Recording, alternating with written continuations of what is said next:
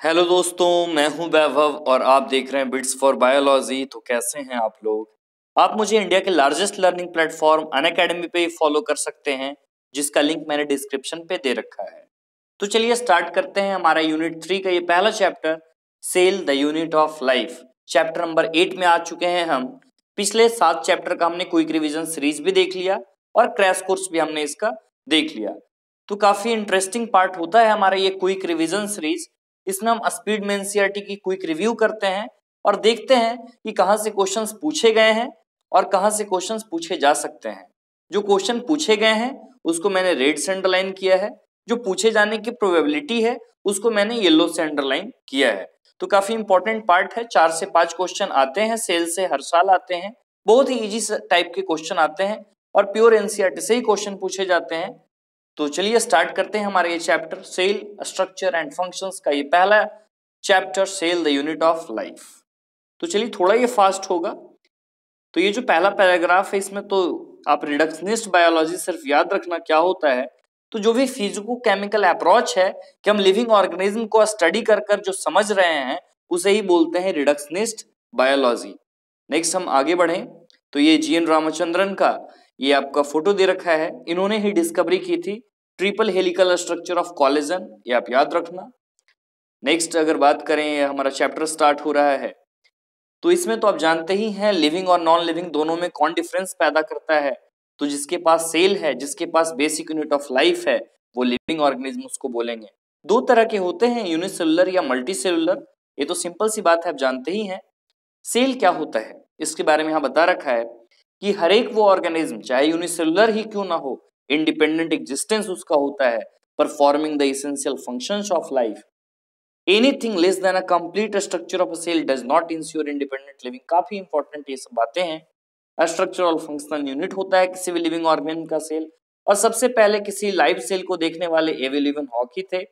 Robert Brown ने nucleus की discovery की थी। और सबसे पहले सेल को देखा था रॉबर्ट हुक ने, जो कि डेड सेल था। नेक्स्ट हम आगे बढ़े। सेल थ्योरी के बारे में। तो सैडिन और स्वान दो साइंटिस्ट थे जिन्होंने दिया था सेल थ्योरी। तो सेल थ्योरी से पूछे जाने वाले सवाल एम्स में ऐसे भी थे कि बोटनिस्ट थे, एक दो बोटनिस्ट और एक एक बोटनिस्ट और एक जूलॉजिस्ट दोनों ने मिलकर दी थी सेल थ्योरी।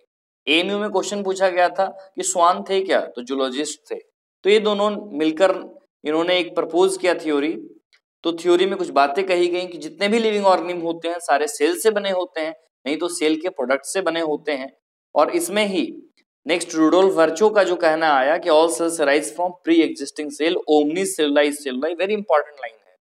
इसमें एक खास बात प्रेजेंस ऑफ़ सेल वाली unique character of plant cells ये इंपॉर्टेंट है हमारा। दोनों ने मिलकर सेल थ्योरी दी स्लेडन और स्वान ने। इसके बाद रूडोल्फ वर्चो आए, ये इंपॉर्टेंट है हमारा पोर्शन ये मैंने आपको बता ही दिया। नेक्स्ट हम आगे बढ़े, कुछ सेल का ओवरव्यू अगर हम देखें। तो इसमें पता चलता है कि सेल में सेल वॉल होते हैं, सेल मेम्ब्रेन होता है और खास एक इसमें न्यूक्लियस होता है जो कि मेम्ब्रेन बाउंड स्ट्रक्चर है। क्वेश्चंस यही पूछे जाते हैं कि कौन सा मेम्ब्रेन बाउंड होता है, कौन सा नॉन मेम्ब्रेनस है, कौन सा डबल मेम्ब्रेन है? तो आप इस पर खासा ध्यान देंगे। तो आगे हम बढ़े। क्या क्या होता है सेल में? न्यूक्लियस होता है, न्यूक्लियस के अंदर क्रोमोजोम होते हैं क्रोमोजोम के अंदर डीएनए होता है। तो सीक्वेंस में बिल्कुल इसी तरह चलता है। मेम्ब्रेन बाउंड होते हैं जो यूकैरियोट्स में होंगे। लेकिन मेम्ब्रेन बॉन्ड न्यूक्लियस नहीं प्रेजेंट होते हैं प्रोकैरियोट में, वहाँ पर न्यूक्लियोइड होता है या जीनोफोर बोल सकते हैं। नेक्स्ट प्रोकैरियोट और यूकैरियोट में एक सेमी फ्लूड मैट्रिक्स होता है जिसे साइटोप्लाज्म बोलते हैं। साइटोप्लाज्म के बारे में एक खास बात the cytoplasm is the main arena of cellular activities in both the plants and animal cells question पूछा जा चुका है यहाँ से। नेक्स्ट न्यूक्लियस के अलावे जो यूकैरियोटिक सेल्स में और भी मेम्ब्रेन ऑर्गेनल्स हैं endoplasmic reticulum Golgi complex lysosome mitochondria microbodies vacuoles खैर, बहुत सारे हैं। और प्रोकैरियोटिक सेल्स में ऐसे कोई भी मेम्ब्रेन बॉन्ड ऑर्गेनल्स नहीं प्रेजेंट होते हैं। एक राइबोसोम ही ऐसा ऑर्गेनल है, जो कि यूकैरियोट हो, चाहे प्रोकैरियोट हो, दोनों में प्रेजेंट होता है, जो कि नॉन मेम्ब्रेनस बॉन्ड ऑर्गेनल है। Within the cell ribosomes are found not only in cytoplasm but दो ऑर्गेनल में भी पाए जाते हैं क्लोरोप्लास्ट और माइटोकॉन्ड्रिया तभी तो बोलते हैं राइबोसोम को organelle within organelle on rough endoplasmic reticulum पे भी होता है, इसलिए वो तो वो रफ है। Next animal cells contain other non membrane bond organelles जिनको सेंट्रियोल बोला गया, जो कि सेल डिवीज़न में काम आएगा। आप तो जानते हैं ना कि सेल की साइज़ में बहुत ज़्यादा डिफरेंस होता है तो माइकोप्लाज्मा जो कि सबसे छोटा सेल होता है, जिसकी पॉइंट थ्री माइक्रोमीटर लेंथ होती है, और इसके साथ ही अगर बैक्टीरिया की बात करें तो बैक्टीरिया तीन से पाँच माइक्रोमीटर तक का होता है और जो ऑस्ट्रिच का एग है, वो सबसे बड़ा एग होता है। नर्व सेल लॉन्गेस्ट सेल होते हैं। रेड ब्लड सेल का सात माइक्रोमीटर डायमीटर होता है। तो सेल का सेप जो है, बहुत वेरी करता है। जैसा फ़ंक्शन करता है, उसके अकॉर्डिंग उसका सेप भी होता है। ये कुछ डायग्राम दे रखे हैं। इसमें आप याद रखना बाई कनकेव क्यों है? क्योंकि सरफेस एरिया बढ़ाने का काम कर रहा है। तो कुछ बातें हैं, ये सब आपको बता दी गई हैं पहले ही। अब ये हमारा खास पोर्सन प्रोकैरियोटिक सेल जहाँ से एक क्वेश्चन की प्रोबेबिलिटी हर साल बनती है।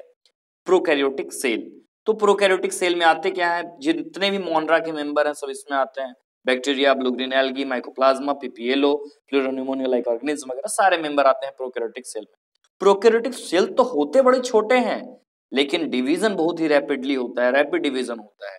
सिर्फ़ और साइज़ में वेरिएशन होता है, चार तरह के बैक्टीरिया होते हैं, जो कि हमने देख लिया है मोनेरा में। Bacillus rod like spherical coccus कॉमसिड vibrio और अस्पायरल अस्पायरलम ठीक है नेक्स्ट हम आगे देखें। और क्वेश्चंस आपसे यहाँ से पूछे जाते हैं। Prokaryotes have a cell wall surrounding the cell membrane except in mycoplasma आपने देखा होगा माइकोप्लाज्मा में तो सेल वॉल प्रेजेंट होता ही नहीं है। No well defined nucleus prokaryotes में होंगे ही नहीं। एक यहाँ से क्वेश्चन पूछा जाता है extrachromosomal extrachromosomal amount of DNA है जो यहाँ से पूछा जाता है क्वेश्चन काफ़ी इंपॉर्टेंट है ये part next prokaryotes have something unique in the form of inclusions ये फॉर्म में ये होता है इंक्लूजन बॉडी जो मैं आगे बताऊँगा रिज़र्व फ़ूड मटेरियल होता है। एक specialised differentiated form of cell membrane called mesosome mesosome जो होता है, इस तरह मेम्ब्रेन है तो मेम्ब्रेन से इन फोल्डिंग्स निकली हुई है। इसको बोलते हैं मेसोसोम रिस्पायरेशन में काफ़ी इंपॉर्टेंट रोल है इसका। ये आप याद रखें सेल मेम्ब्रेन का ही मॉडिफिकेशन होता है। नेक्स्ट है हमारा इंपॉर्टेंट पार्ट सेल इन्वेलप और इसके कुछ मॉडिफिकेशन वगैरह इसमें हम देखते हैं। तो सेल इन्वेलप में जनरली तीन पार्ट आते हैं। एक तो ग्लाइकोकैलिक्स आता है नेक्स्ट है सेल वॉल और लास्ट है हमारा प्लाज्मा मेम्ब्रेन तीनों को मिलाकर हम बोलते हैं सिंगल प्रोटेक्टिव यूनिट ये जो ग्लाइकोकैलिक्स होता है स्टिकी बिहेवियर का होता है, ये क्वेश्चन पूछा गया है यहाँ से, ये आप याद रखेंगे। और स्टेनिंग प्रोसीजर के बेसिस पे दो टाइप के होते हैं, एक तो ग्राम पॉजिटिव एक ग्राम निगेटिव सब कुछ मैंने क्रैश कोर्स में डिटेल में बता रखा है, लेकिन क्वेश्चन आपसे इतना ही पूछा जाएगा जितना मैं यहाँ पर बता दिया हूँ। और अगर आपको इसमें थोड़ा सा और जानना है तो क्रैश कोर्स सीरीज़ आप देख सकते हैं, सारा लिंक मैंने डिस्क्रिप्शन में दे रखा है। नेक्स्ट अगर हम बात करें ग्लाइकोकैलिक्स का जो कॉम्पोजिशन है और थिकनेस में वो डिफरेंस देखने को मिलता है। अगर लूज है ग्लाइकोकैलिक्स अगर लूज है तो स्लैंडर बोलेंगे। अगर थिक टफ है तो उसको कैप्सूल बोलेंगे। नेक्स्ट अगर बात करें सेल वॉल के बारे में तो सेल वॉल ही सेप सेल का डिटरमाइन करता है और एक स्ट्रॉन्ग स्ट्रक्चरल सपोर्ट देता है कि वो बैक्टीरिया को ये बर्स्टिंग और कोलेप्सिंग से। प्लाज्मा मेम्ब्रेन तो आप जानते ही हैं सेमी परमेबल मेम्ब्रेन होता है। Similarly structure to that of you eukaryotes prokaryotes और यूकैरियोट्स में स्ट्रक्चरली सिमिलर होते हैं। नेक्स्ट मेसोसोम के बारे में आपको बताया ही। तो मेसोसोम के तीन फॉर्म होते हैं फॉर्म ऑफ़ वेसिकल्स ट्यूब्यूल्स और लैमली की फॉर्म में। नेक्स्ट सेल वॉल फॉर्मेशन में डीएनए रेप्लिकेशन में डिस्ट्रीब्यूशन टू डॉटर सेल्स में। मेसोसोम का रोल क्या होता है? तो रेस्पिरेशन में आपको बताया मैंने, ये क्वेश्चन पूछा जा चुका है। है, खैर, बहुत सारे रोल सिक्रेशन प्रोसेस में सरफेस एरिया को इंक्रीज करने में पूछा गया था वही। ये भी क्वेश्चन आ चुका है क्रोमेटोफोर्स क्रोमेटोफोर्स क्या होते हैं? प्रोकैरियोट्स में। जैसे सियानोबैक्टीरिया का एग्ज़ाम्पल ले लो तो इसमें पिगमेंट्स होते हैं। क्रोमेटोफोर के अंदर ये ऐसे पिगमेंट भरे होते हैं। तो ऐसे पिगमेंट होते हैं प्रोकैरियोट्स में क्रोमेटोफोर्स में। तो यहाँ दो खास हो गया, एक तो क्रोमेटोफोर हमारा इंपॉर्टेंट है और एक हमारा मेजोसोम इंपॉर्टेंट है, दोनों आप याद रखेंगे। और जो आप तो जानते ही हैं बैक्टीरिया सेल्स का अगर डिवीज़न हो तो तीन पार्ट बनते हैं फिलामेंट हुक और बेसल बॉडी बनते हैं तीन पार्ट तो जो फिलामेंट होता है, सबसे लॉन्गेस्ट पोर्सन होता है, जो सेल सरफेस से बाहर की ओर होता है। फ्लैजला के अलावे पीली और फिम्बरी भी होते हैं, जिनका मोटिलिटी में कोई रोल नहीं होता है, आप याद रखना। पीली क्या होते हैं? स्पेशल प्रोटीन पाइलिन के बने हुए होते हैं। फिम्बरी जो है, फाइबर्स होते हैं, जो कि झरने होते हैं तो उसमें बैक्टीरिया को अटैच करने में मदद करता है और हॉस्ट टिश्यू से अटैच करने में। नेक्स्ट हमारा इंपॉर्टेंट पार्ट ये राइबोसोम्स। दो तीन बार इससे क्वेश्चन पूछे गए हैं यहाँ से मैं बताता हूँ आगे। In prokaryotes, ribosomes are associated with the plasma membrane of the cell. Ribosomes are the site of protein synthesis very very important next जो हमारा आ रहा है पॉलीसोम इतनी बार पूछी गई, तीन से चार बार आज तक पूछी गई है नीट एग्ज़ाम में एपीएमटी में।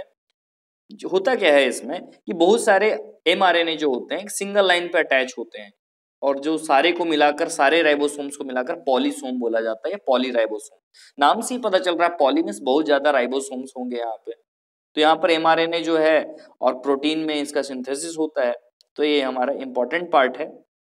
आगे हम बढ़े इसमें।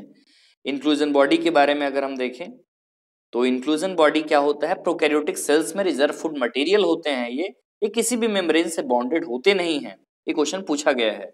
नेक्स्ट फॉस्फेट ग्रैनुल्स और सैनोफेस्टिन ग्रैनुल्स और ग्लाइकोजेन ग्रैनुल्स इस फॉर्म में इंक्लूजन बॉडी स्टोर होते हैं। अब गैस वैक्यूल है, कहाँ होंगे? तो ब्लू ग्रीन ब्लू ग्रीन में और पर्पल और ग्रीन फोटोसिंथेटिक बैक्टीरिया में ये प्रेजेंट होते हैं। यूकैरियोटिक सेल्स के बारे में तो नेक्स्ट यही हमें जानना भी है। यूकैरियोटिक सेल्स जो होते हैं, जैसे प्रोटिस्ट प्लांट्स, एनिमली और फंजाई, ये आते हैं यूकैरियोटिक सेल में। इसमें अच्छा एक कंपार्टमेंटलाइजेशन मिलता है साइटोप्लाज्म का, क्योंकि इनमें मेम्ब्रेन बॉन्ड ऑर्गेनल्स देखने को मिलते हैं बहुत सारे।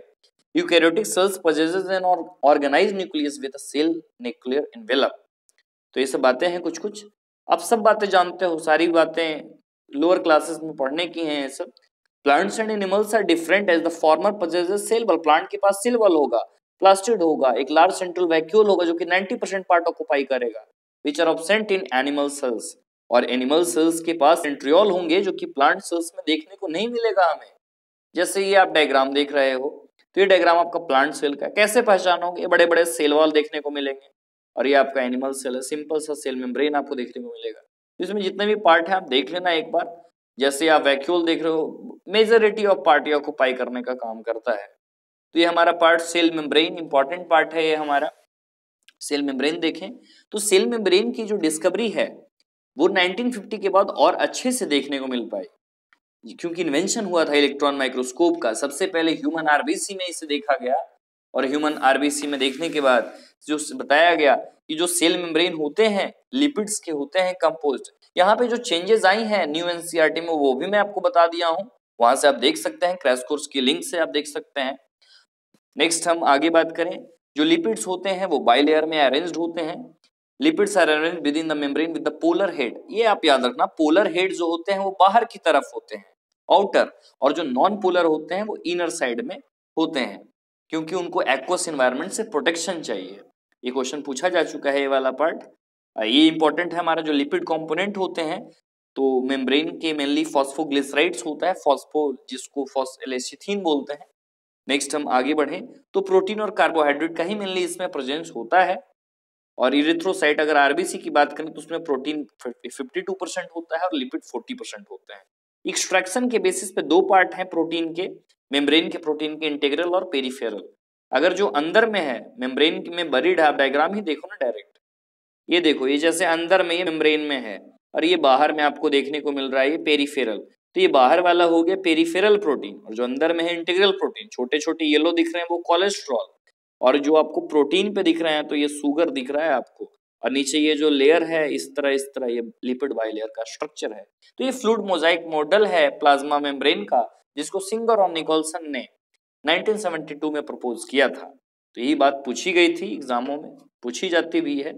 नेक्स्ट, लिपिड का क्वासी फ्लूड नेचर होना, quasi fluid mean almost liquid होना। तो यही इसे प्रोवाइड करता है कि प्रोटीन का लेटरल मूवमेंट हो सके और फ्लूडिटी का भी यही कारण है मेजर इससे किया जाता है। अब जो फ्लूड नेचर है मेम्ब्रेन का, उसके कारण, उसके क्या क्या फ़ायदे हैं function cell growth formation of intercellular junction secretion endocytosis और सेल डिवीज़न काफ़ी इंपॉर्टेंट है। Next part most important function तो ट्रांसपोर्ट ऑफ़ मॉलिक्यूल्स करना प्लाज्मा मेम्ब्रेन का यही खास फ़ंक्शन होता है। सिलेक्टिवली परमिएबल जनरली होते हैं ये। सिलेक्टिवली परमिएबल अगर मैं कुछ खास बात बताऊँ आपको कि जो पैसिव ट्रांसपोर्ट होगा, अगर पोलर मॉलिक्यूल्स है तो वो फैसिलिटेटेड डिफ्यूजन वाटर है तो ओस्मोसिस न्यूट्रल सॉलिड है तो diffusion neutral solid mean non polar ठीक है तो ये बातें मैं आपको बता चुका हूँ। फैसिलिटेटेड डिफ्यूजन में काम क्या आएगा? चैनल का करियर का प्रोटीन का, ये सब का काम आता है। एक्टिव ट्रांसपोर्ट में सोडियम और प्लस पोटेशियम पंप यहाँ पे चलता है। ये इंपॉर्टेंट है एम्स में पूछा जा चुका है यहाँ से क्वेश्चन नेक्स्ट है सेल वॉल हमारा इंपॉर्टेंट पार्ट है सेल वॉल तो सेल वॉल तो आप जानते ही हो सेल वॉल के बारे में कि एबसेंट होते हैं एनिमल्स में और प्लांट में ये प्रेजेंट होते हैं। नॉन लिविंग होता है रेजिड स्ट्रक्चर होते हैं इसमें। तो ये खास है ऑर्डर कवरिंग होता है प्लाज्मा मेम्ब्रेन के लिए फंजाई और प्लांट्स में। फंजाई में क्या होगा? काइटीन प्लांट को सेप देता है, मैकेनिकल डैमेज और इन्फेक्शन से बचाता है, सेल टू सेल इंट्रैक्शन करवाता है और इनडिजरेबल मैक्रोमोलिक्यूल्स के लिए बैरियर का काम करता है एल्गी में क्या है? तो एल्गी में जो होते हैं वो सेल वॉल होते हैं और मिनरल्स जो सेल वॉल किस चीज़ के बने हैं? तो सेलोज गैलेक्टेंस, मैनल्स और मिनरल्स लाइक कैल्शियम कार्बोनेट के बने हुए हैं। और वहीं अगर प्लांट्स में बात करें तो सेलुलोज, हेमिसेलुलोज, पेक्टिन और प्रोटीन के बने हैं। और फंजाई में मैंने आपको बता ही दिया है, काइटिन और जैसे आप देख सकते हो इंसेक्ट वगैरह में तो काइटिन का ही बना हुआ होता है एक्सोस्केलेटन आर्थ्रोपोड्स नेक्स्ट जो सेल वॉल होते हैं यंग प्लांट के, जैसे जो प्राइमरी वॉल होता है capable of growth next cell wall of young plants जो होते हैं, वहाँ भी ये ग्रोथ होता है। जैसे जैसे सेल मैच्योर करते हैं धीरे धीरे छोटा होता चला जाता है। नेक्स्ट मैं आगे आपको बताऊँ मिडिल लैमला एक खास इंपॉर्टेंट पार्ट है, बहुत बार पूछा गया है क्वेश्चन मिडिल लैमला ये एबसेंट इन गार्ड सेल्स तो एक बात एक्स्ट्रा मैंने बताया है आपको और इसको पेक्टिनेज से डिजोल्व कर सकते हैं। पूछा क्या जाता है क्वेश्चन आप देखो। मिडिल लैमला किस चीज़ की बनी होती है? तो कैल्शियम पेक्टेट की सीमेंट लेयर एक होता है। नेक्स्ट हम प्लाज्मोडेजमाटा की बात करते हैं। तो प्लाज्मोडेजमाटा जो है, ये सेल प्लेट होता है जो कि रिप्रेजेंट करता है middle lamella between the wall of two adjacent cells दो एडजेसेंट सेल को जोड़ने का यहाँ पे काम करता है ये हमारा प्लाज्मोडेजमाटा नेक्स्ट हम बात करें इंडोमेम्ब्रेन सिस्टम के बारे में। तो इंडोमेम्ब्रेन सिस्टम वो सिस्टम होता है जिसमें कोऑर्डिनेटेड फ़ंक्शन चलता है। फ़ंक्शन के बेसिस पे आपस में जुड़े होते हैं। तो इंडोमेम्ब्रेन सिस्टम में ये टोटल चार पार्ट आते हैं, इंडोप्लाज्मिक रेटिकुलम, गोल्जी कॉम्प्लेक्स या गोल्जी बॉडी, लाइसोसोम और वैक्यूल आपस में फ़ंक्शन इनके कॉमन होते हैं। जैसे हम पहला पार्ट ये देख रहे हैं, इंडोप्लाज्मिक रेटिकुलम। सबसे पहले तो डायग्राम पूछी गई इंडोप्लाज्मिक रेटिकुलम। आपको कैसे पहचानना है? जहाँ पे राइबोसोम होगा मतलब ये रफ स्ट्रक्चर होगा, जहाँ पर नहीं है, ये स्मूथ स्ट्रक्चर है। ये क्वेश्चन पूछा जा चुका है। अब देखो, जैसे ये न्यूक्लियर इन्वेलप है मानो आपका तो इसमें से कौन से निकले हुए हैं? इसको किसने बनाया तो रफ इंडोप्लाज्मिक रेटिकुलम ने तैयार किया है। क्वेश्चन पूछा जा चुका है। नेक्स्ट अगर हम इंडोप्लाज्मिक रेटिकुलम की बात करें तो इंडोप्लाज्मिक रेटिकुलम में इंटरसेलर स्पेसिस को दो टाइप में डिवाइड किया गया है, एक तो लुमिनल और एक एक्स्ट्रा लुमिनल आप समझ रहे हो ना? इन साइड इंडोप्लाज्मिक रेटिकुलम और साइटोप्लाज्म में। नेक्स्ट हम बात करें तो इंडोप्लाज्मिक रेटिकुलम रफ क्यों है? Due to presence of ribosome ribosome के चलते स्मूथ है क्योंकि वहाँ पे राइबोसोम नहीं है। आरियर का काम क्या है? प्रोटीन सिंथेसिस करना या सिक्रेशन करना, क्योंकि ये एक्सटेंसिव और continuous with the outer membrane of the nucleus मैंने आपको बताया ही आरियर होते हैं और जो स्मूथ होते हैं, लिपिड में लिपिड सिंथेसिस में उनका काम होता है और भी एस्ट्रॉयडल हार्मोन्स का वो सिंथेसिस करते हैं। नेक्स्ट हमारा ये पार्ट है गोल्जी अपरेटा साइंटिस्ट के नाम पे नाम पड़े, कैमिलियो गोल्जी पे 1898 में इन्होंने डिस्कवरी किया। कुछ इसमें सिस्टर्नी होते हैं जो कि खास होती हैं, जो आप पार्ट देख रहे हो, सिस्टर्नी है। सिस्टर्नी कैसे डिस्क शेप्ड सेल्स होते हैं ये। आप डायमीटर याद रखना। सब आपस में एक दूसरे पे होते हैं। स्टैकिंग होती है यहाँ पे। और वेरिएबल है सेल में नंबर इनका सिस्टर्नी का। आपको याद क्या करना है? यहाँ पे जो कन्वेक्सिस फेस है। सीस फेस क्या होगा? वो कन्वेक्स होगा। और जो ट्रांस फेस होगा, वो कॉन्केव होगा। मीन्स जो कॉन्वेक्स है, वो फॉर्मिंग फेस है। और जो कॉन्केव है, वो मैच्योरिंग फेस है। आप ये याद रखना दोनों आपस में डिफरेंट होते हैं, लेकिन इंटरकनेक्टेड होते हैं। नेक्स्ट अगर मैं आपको बात बताऊँ गोल्जी अपरेटस का जो मेन फ़ंक्शन होता है, वो पैकेजिंग करने का वो काम होता है मॉडिफिकेशन के बाद। मेजर साइड जो होते हैं फॉर्मेशन ऑफ़ ग्लाइकोलिपिड और ग्लाइकोप्रोटीन का ये करता है। होता क्या है, जैसे रफ इंडोप्लाज्मिक रेटिकुलम है, उसने प्रोटीन को बनाया प्रोटीन को सीस फेस से भेजेंगे आगे। सीस फेस से ट्रांसफेस ट्रांसफेस से वेजाइकल्स वेजाइकल्स से फिर लाइसोसोम के फॉर्म में वो बाहर आ जाएगा। सेल के बाद। बिल्कुल इसी तरह होता है। जो सिस्टरनी आपने देखा, वहाँ पे सिर्फ़ मॉडिफिकेशन चल रहा है मीन ग्लाइकोसाइलेशन चल रहा है। नेक्स्ट हम बात करें लाइसोसोम्स के बारे में। तो लाइसोसोम्स से जो क्वेश्चन पूछी जाती है कि हाइड्रोलिटिक एंजाइम्स ऐसे कौन से ऑर्गेनल में प्रेजेंट है तो लाइसोसोम्स में मेम्ब्रेन बॉन्ड होता ही है। पैकेजिंग के बाद आया है ये लाइसोसोम और जैसे बहुत सारे हाइड्रोलिटिक एंजाइम लाइपेज है तो फैट के लिए लिपिड्स के लिए प्रोटीज है तो प्रोटीन्स के लिए कार्बोहाइड्रेज है तो कार्बोहाइड्रेट के लिए। एक चीज़ आप याद रखना एसिडिक पीएच पे ये जनरली काम करता है। आपको पूछेगा आठ पीएच पे काम करेगा तो बिल्कुल नहीं एसिडिक पे काम करना है छह के नीचे ही काम करना है, पाँच पे जनरली काम करता है ये।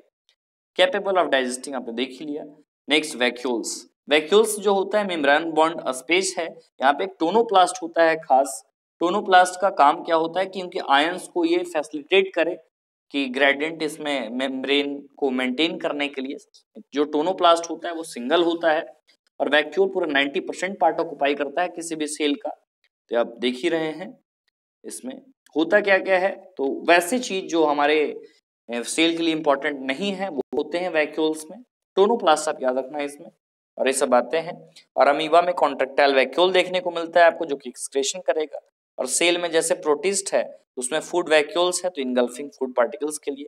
नेक्स्ट हमारा इंपॉर्टेंट पार्ट माइटोकॉन्ड्रिया माइटोकॉन्ड्रिया को जब तक आप स्टेनिंग नहीं करोगे, तब तक आप उसे नहीं देख पाओगे तो जेनस ग्रीन हमें स्टेनिंग करते हैं।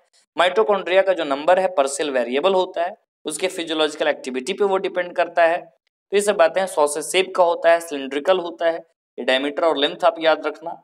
डबल मेम्ब्रेन होता है आप जानते ही एक आउटर मेम्ब्रेन होता है, एक इनर मेम्ब्रेन क्वेश्चन पूछा जा चुका है। लेबलिंग के लिए आई थी आउटर मेम्ब्रेन आप देख रहे हैं, इसके बाद इनर मेम्ब्रेन और ये जो ग्रीन कलर का आप देख रहे हैं मैट्रिक्स होता है और इसके बाद दोनों मेम्ब्रेन के बीच का जो स्पेस है, उसको इंटर मेम्ब्रेन स्पेस बोलते हैं। क्रिस्टी जो कि सरफेस से इंक्रीज करने का काम करता है, वो क्रिस्टी वाला पार्ट है। हम इसमें आगे देखें तो इनर कंपार्टमेंट को मैट्रिक्स बोला जा रहा है और आउटर जो है, वो लिमिटिंग बाउंड्री है। जो आउटर होता है, वो स्मूथ होता है और पोरस होता है। इनर मेम्ब्रेन जो है, उससे क्रिस्टी निकला है क्रिस्टी सरफेस एरिया इंक्रीज करने का काम करेगा। जो मेम्ब्रेन्स हैं, उनके पास खुद के स्पेसिफिक इंजाइम्स होते हैं माइट्रोकॉन्ड्रिया का काम एरोबिक रेस्पायरेशन करना और ये they produce cellular energy ATP के फॉर्म में वो एरोबिक रेस्पायरेशन से एनर्जी प्रोड्यूस करते हैं, इसलिए इसे power house of the cell भी बोलते हैं। मैट्रिक्स में ही आपको सब कुछ देखने को मिलेगा। सिंगल सर्कुलर डीएनए भी मिलेगा, कुछ आरएनए के मॉलिक्यूल्स मिलते हैं राइबोसोम्स होगा सेवेंटी एस अब इस सेवेंटी एस का आप ये चक्कर याद रखना कि जो ऑर्गेनल में राइबोसोम प्रेजेंट होंगे, वो सेवेंटी एस होंगे और जो ये साइटोप्लाज्म में जो राइबोसोम होंगे, वो एट्टी एस होंगे। ये आप याद रखना। डिवीज़न से वो माइटोकॉन्ड्रिया जनरली डिवाइड्स कर डिवाइड करते हैं। नेक्स्ट मैं आपको आगे बताऊँ। आगे हमारा पार्ट है प्लास्टिड्स नेक्स्ट हम देखें प्लास्टिड तो प्लास्टिड्स कहाँ होते हैं? प्लांट सेल्स में और एग्लिनोइड्स में प्रेजेंट होते हैं। पिगमेंट्स के बेसिस पे तीन पार्ट हैं क्लोरो क्रोमो और ल्यूकोप्लास्ट जो क्लोरोप्लास्ट होता है, उसमें क्लोरोफिल प्रेजेंट होते हैं। ये तो आप बात जानती हो सिंपल सी बात है।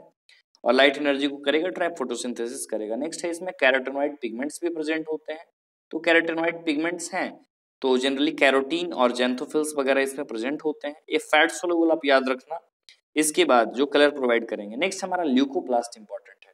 ल्यूकोप्लास्ट कलरलेस प्लास्टिड होते हैं, जिनमें न्यूट्रिएंट स्टोर होता है। अमाइलोप्लास्ट है तो स्टारेज स्टार्च को स्टोर करेगा, जैसे पोटैटो में। इलायोप्लास्ट है तो ऑयल को स्टोर करेगा फैट को।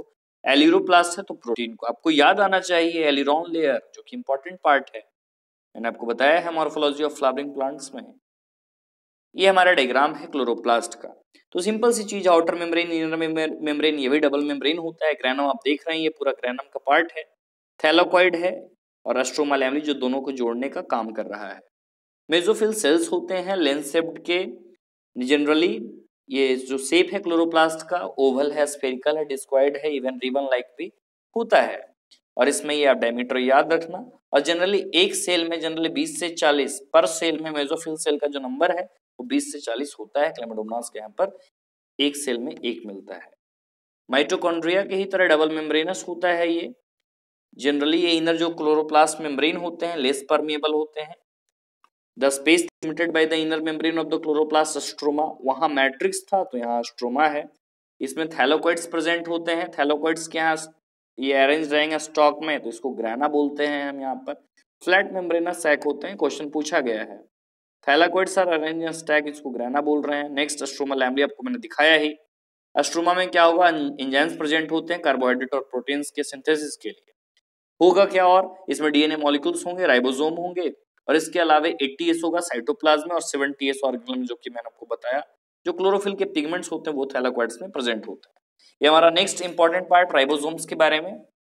राइबोसोम के बारे में आपको बताया मैंने ऑर्गेनल विद इन ऑर्गेनल बोला जाता है। ग्रेनुलर स्ट्रक्चर है जॉर्ज प्लानर ने डिस्कवरी की थी। प्रोटीन्स और राइबोन्यूक्लिक एसिड इसका कंपोज होता है। कोई भी मेम्ब्रेन इसमें होते नहीं यूकैरियोट में 80s और प्रोकैरियोट में 70s एस यहाँ पे सेवडवर्ग यूनिट है, जो कि सेडिमेंटेशन कॉफिशियंट है। ये डायरेक्टली और इनडायरेक्टली ये डेंसिटी और साइज़ का मेज़रमेंट है। तो 70 और 80 एस राइबोसोम दो सब यूनिट्स के बने हुए होते हैं। जैसे 70 एस है तो 50 प्लस 30 का बना हुआ। 80 एस है तो 60 प्लस 40 का। तो जो दोनों एस है, जोड़ने का काम कौन कर रहा है यहाँ पे? मैग्नीशियम काम कर रही है, याद रखना। नेक्स्ट हमारा इंपॉर्टेंट पार्ट साइटोस्केलेटोन तो साइटोस्केलेटोन क्या है? फिलामेंटस प्रोटीनियस स्ट्रक्चर है जो कि साइटोप्लाज्म में प्रेजेंट होता है, जो कि सेल को एक फ्रेमवर्क तैयार करने का काम करता है, जिसको साइटोस्केलेटोन बोलते हैं। मैकेनिकल सपोर्ट के लिए मेंटेन मोटिलिटी के लिए और एक क्वेश्चन पूछा जाता है maintenance of the shape of the cell के लिए। आपको मैं बता दूँ, नीट का सबसे इंपॉर्टेंट टॉपिक है फेवरेट टॉपिक है साइटोस्केलेटन इससे बहुत क्वेश्चन पूछे जाते हैं। तो अब ये इस पर थोड़ा फोकस करना। इसके कोई भी पार्ट है माइक्रोफिलामेंट्स माइक्रोट्यूबल सब मैंने बता रखा है एक्स्ट्रा पार्ट जो इसके हैं क्रैश कोर्स में। नेक्स्ट ये आप देख रहे हैं, यहाँ पे हमारा पार्ट सीली और फ्लैजला के बारे में यहाँ पे आप देख रहे हैं। तो ये हमारा जो पार्ट है इलेक्ट्रॉन माइक्रोग्राफ का है, यहाँ पे डायग्रामेटिक रिप्रेजेंटेशन यहाँ पे किया गया है। तो यहाँ पे आपको इंटर डबलेट ब्रिज दिखा देखने को मिल रहा है। यहाँ पे पेरीफेरल माइक्रोट्यूबल्स हैं प्लाज्मा मेम्ब्रेन आपको दिख ही रहा है। नेक्स्ट मैं आपको बताऊँ रेडियल स्पोक्स यहाँ पे निकले हुए हैं सेंट्रल सीध है ये ये वाला रेड वाला पार्ट और ये सेंट्रल माइक्रोट्यूबुल यहाँ पे प्रेजेंट है, ये जो दो आपको देखने को मिल रहा है। तो सेंट्रल माइक्रोट्यूबुल टोटल कितने हो गए? तो दो है। तो नाइन प्लस टू का यहाँ पे अरेंजमेंट चलता है। नेक्स्ट मैं बात करूँ तो दो सेंट्रल ट्यूबुल को ब्रिज जोड़ने का काम कर। ये सब चीज़ें यहाँ पे लिखी हुई है सिली और फ्लैजला के बारे में। तो पहली चीज़ तो हेयर लाइक ऑड ग्रोथ होता है, पूछा जा चुका है क्वेश्चन प्रोकैरियोटिक बैक्टीरिया जो होते हैं, उसमें फ्लैजला होता है और स्ट्रक्चरली डिफरेंट होता है वो इक्वेरेटिक फ्लैजला से। प्लाज्मा मेम्ब्रेन से कवर होता है कोर को एक्सोनीम बोलते हैं नाइन प्लस टू का वही अरेंजमेंट इसमें होता है। नेक्स्ट जो सेंट्रल ट्यूबुल्स होते हैं ब्रिज के द्वारा कनेक्ट है सेंट्रल सीधा आपने देखा है रेडियल स्पोक आपको मैंने बताया ही। लिंकर से ये कनेक्ट होते हैं, जो दोनों सिली और फ्लैजला होते हैं centriole like structure basal body से वो एराइज होते हैं। ठीक है नेक्स्ट बात करते हैं सेंट्रोसोम और सेंट्रियोल्स के बारे में। जो दो सेंट्रियोल्स होते हैं, आपस में परपेंडिकुलर होते हैं कार्टविल के जैसा स्ट्रक्चर का फॉर्मेशन करते हैं। सिलेंड्रिकल स्ट्रक्चर है विदाउट मेम्ब्रेन ये आप याद रखना। एमॉर्फस पेरीसेंट्रियोलर मटेरियल्स इसमें मौजूद होता है मीन्स इसको सेपरेट नहीं किया जा सकता है। आगे हम बात करें, इसमें ट्यूबलिन प्रोटीन होता है। ठीक है? तो इसमें ये सब आते हैं। और कुछ मैं आपको बताऊँ तो इसमें हब होता है, स्पोक्स इसमें प्रेजेंट होते हैं। हब कैसा है? तो सेंट्रल प्रोटीनिशियस पार्ट होता है ये। स्पोक्स कैसा है? तो स्पोक्स जो कनेक्शन होता है हब और पेरीफेरल ट्यूबुल्स को रेडियल स्पोक्स है। और अरेंजमेंट जो माइक्रो ट्यूबुल्स का है, वो नाइन प्लस ज़ीरो का है। और जो फॉर्मेशन ऑफ़ बेसल बॉडी और सिलियर फ्लैजला तो सेंट्रल का फ़ंक्शन जान ही रहे हो, ये प्लांट सेल्स में एबसेंट होते हैं। और स्पिंडल फाइबर्स का फॉर्मेशन करने में हेल्प करते हैं during cell division in animals ये इंपॉर्टेंट पार्ट था इसका। नेक्स्ट हम देखें न्यूक्लियस के बारे में। तो न्यूक्लियस को रॉबर्ट ब्राउन ने डिस्कवर किया था 1831 में। न्यूक्लियस के बाद न्यूक्लियस को बेसिक डाई से करते हैं स्टेनिंग और इसको नाम दिया गया क्रोमैटीन जो कि फ्लेमिंग ने इसकी डिस्कवरी की थी। फ्लेमिंग ने ये इंपॉर्टेंट पार्ट है। नेक्स्ट हमारा है पार्ट इंटरफेज इंटरफेज न्यूक्लियस वो पार्ट जब न्यूक्लियस डिवाइड नहीं कर रहा होता है तो उसको बोलते हैं इंटरफेज तो हाईली एक्सटेंडेड और elaborate nucleoprotein fibres called chromatin ठीक है? नेक्स्ट न्यूक्लियर मैट्रिक्स होता है स्फेरिकल बॉडी न्यूक्लियोला ये खास है हमारा। नेक्स्ट दोनों जो मेम्ब्रेन क्योंकि डबल मेम्ब्रेन है तो दोनों के बीच का जो स्पेस होता है, वो पेरिन्यूक्लियर स्पेस है। आप ये डायग्राम पूरा देख सकते हो। नेक्स्ट है तो पेरिन्यूक्लियर स्पेस है तो उसका डायमीटर आप याद रखें, दोनों के बीच का स्पेस जो है टेन टू फिफ्टी नैनोमीटर और जो आउटर मेम्ब्रेन है ये remains continuous with endoplasmic reticulum आपको मैंने वहीं पे बताया आर ई आर से होता है ये, जिसमें राइबोसोम्स बियर है। तो डायरेक्ट साफ़ यहाँ पर नहीं लिखा है, लेकिन आर ई आर ये है, आपको समझना चाहिए। नेक्स्ट ये तो आरएनए और प्रोटीन मॉलिक्यूल्स का एक दूसरे से डायरेक्शन आना जाना लगा रहता है न्यूक्लियस से साइटोप्लाज्म में, और जैसे मोर देन वन न्यूक्लियस पर सेल अगर है, इसकी अगर बात है तो इसमें बहुत सारे आ सकते हैं। जैसे वोचेरिया है पैरामीशियम है और लिक्विड इंडोस्पर्म ऑफ़ कोकोनट है थ्री एन वगैरह, ये सब आती हैं इसके अंदर। तो आप देख रहे हैं। नेक्स्ट हम बात करें न्यूक्लियोप्लाज्म के बारे में। तो न्यूक्लियर मैट्रिक्स होता है, जिसमें न्यूक्लियोलस और क्रोमेटिन प्रेजेंट होते हैं। न्यूक्लियोलस एक स्फेरिकल स्ट्रक्चर होता है, जो जहाँ की एक्टिव राइबोसोमल आरएनए सिंथेसिस इतनी बार क्वेश्चन पूछी गई है। या आप ज़रूर याद रखना कि आर आर सिंथेसिस कहाँ होता है। तो न्यूक्लियोलस के अंदर न्यूक्लियोलस अगर ऑप्शन में नहीं है तो न्यूक्लियोप्लाज्म आप लगाना। अगर दोनों ऑप्शन में है तो आप न्यूक्लियोलस लगाओगे। ठीक है, प्रोटीन सिंथेसिस के काम आता है। चीफ रोल है न्यूक्लियोलस का यही, राइबोसोम का। फॉर्मेशन करना। आगे हम बढ़े ये पार्ट इंटरफेज न्यूक्लियस जो होता है लूज होता है। न्यूक्लियो प्रोटीन फाइबर्स जो है क्रोमेटीन है। और जैसे ही कंडेंस करते हैं तो क्रोमोजोम का फॉर्मेशन करता है। क्रोमेटीन में डीएनए बेसिक प्रोटीन होगा हिस्टोन वगैरह। और नॉन हिस्टोन प्रोटीन्स भी प्रेजेंट होता है ऑल्सो आरएनए भी प्रेजेंट होगा। एक खास बात है कि एक जो सिंगल ह्यूमन सेल होता है, उसमें दो मीटर लंबा डीएनए होता है, जिसमें कि छियालीस क्रोमोजोम प्रेजेंट होते हैं। नेक्स्ट हम आगे बात करें। Every chromosome essentially has a primary construction जिसको सेंट्रोमेयर ये जिसको सेंट्रोमेयर बोल रहे हैं डिस्क सेप्ड स्ट्रक्चर जो कि काइनेटोकोर्स है, जो कि आपका डायग्राम में यहाँ पर दिखा रखा है। नेक्स्ट सेंट्रोमेयर के ही बेसिस पे इसके चार टाइप हैं। अगर सेंट्रोमेयर मिडिल में है तो इसको बोल रहे हैं मेटासेंट्रिक अगर सेंट्रोमेयर थोड़ा मिडिल से दूर है तो इसको सब मेटासेंट्रिक बोल रहे हैं। अगर क्लोज टू एंड है तो एक्रोसेंट्रिक बोल रहे हैं, पूछा जा चुका है। टीलोसेंट्रिक है तो वो टर्मिनल पोजीशन पे है। अब जो क्वेश्चन पूछा गया 2018 नीट में, वो क्वेश्चन पूछा गया सेप के बारे में। तो आप सेप सबका याद रख लो। जो मेटासेंट्रिक होते हैं वो वी सेप के सब मेटासेंट्रिक एल सेप के एक्रोसेंट्रिक जे सेप के। और टीलोसेंट्रिक आई सेप के तो वी एल जे आई का फॉर्मेशन ये होता है। डायग्राम यहाँ पे देख सकते हो। नेक्स्ट हम लास्ट यहाँ पे बात करें। लास्ट यहाँ पे तो सैटेलाइट के बारे में यहाँ पे बात बताई गई है कि नॉन स्टेनिंग होता है सेकेंडरी कंस्ट्रक्शन होता है यहाँ पे कॉन्स्टेंट लोकेशन पे तो उसको यहाँ पे सैटेलाइट बोल, छोटा सा एक फ्रेगमेंट होता है माइक्रोबॉडी के बारे में। तो माइक्रोबॉडी जो होता है मेम्ब्रेन बाउंड होता है। और इसमें एंजाइम्स होते हैं प्लांट और एनिमल दोनों में ये प्रेजेंट होता है। और यहाँ पे एक चीज़ बताई गई है mitochondria help in oxidative phosphorylation ATP बनाने में काम करता है जनरेशन ऑफ़ एटीपी और इसके अलावा अगर कुछ आप एक्स्ट्रा जानना चाहते हो तो मैंने क्रैश कोर्स में बता रखा है। क्रैश कोर्स में मैंने उतना ही बता रखा है, जितना क्वेश्चन एग्ज़ाम में पूछा जाता है। पढ़ने को तो बहुत लंबी चलती है सेल बायोलॉजी लेकिन इसमें काफ़ी है जो क्रैश कोर्स सीरीज़ मैंने छह पार्ट में इसके बता रखे हैं। और ये क्विक रिवीजन सीरीज़ भी आपका एनसीआरटी से कंप्लीट होता है। तो इसी तरह आपने क्वेश्चन तो सारे लगा ही रखे होंगे चैप्टर नंबर एट तक। इसके बाद हम अगली लेशन बात करेंगे बायोमोलिक्यूल्स की। तो thank you for watching this video have a nice day